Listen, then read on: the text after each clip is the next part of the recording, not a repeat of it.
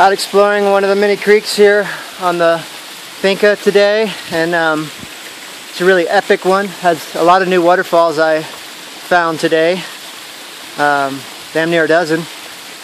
And uh, this is a really awesome one, about 35 feet probably.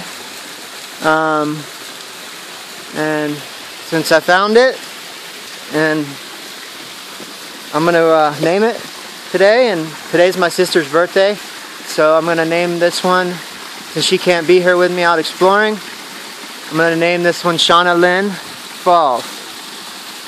So, Shanna, you have your own uh, waterfall named after you here at the finca.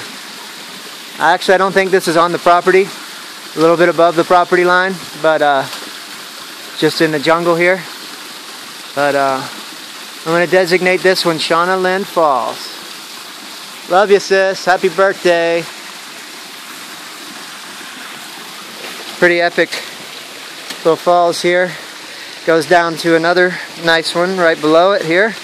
And then like five or six more before it gets to a, a branch in the creek. And I'm going to go check out the other branch and find some new falls again, I'm sure. So, goes down, steps down to more falls. Look at this incredible epic tree over there. I got it in another video.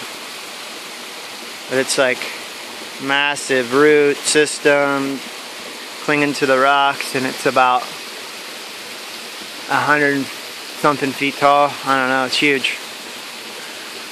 So, Shanna, you have a tree, or I mean a, a, uh, a waterfall named after you in Costa Rica now. Shanna Lynn Falls. It's a beaut.